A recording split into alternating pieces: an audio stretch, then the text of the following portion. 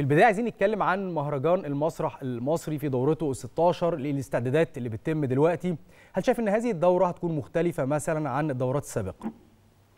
طبعا هو دور المهرجان مهرجان المسرح المصري تعتبر يعتبر عرس ثقافي وفني وإبداعي.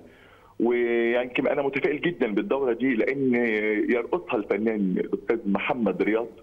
هو فنان كبير وفنان يعني اسمه اسمه دائما مقترن بكل بكل ما هو جميل وكل ما هو عظيم يعني.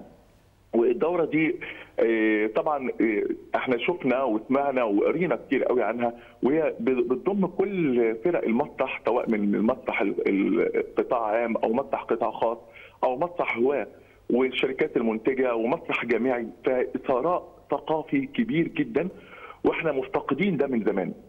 مفتقدين إثراء إثراء الحركة المسرحية اللي كانت وما اللي كانت يعني في مصر بتعتبر أساس أساسي وشيء جميل جدا كنا بنشوفه دائما في مسارحنا وفي الحركة المسرحية المصرية. وإن شاء الله تكون فعلا دورة في دورة مسرحية في المهرجان بتؤتي ثمارها وأنا متفائل متفائل جدا جدا بالدورة دي وإن شاء الله تكون فعلا دورة مهمة جدا خاصة إنها بتحمل اسم الزعيم عادل إمام.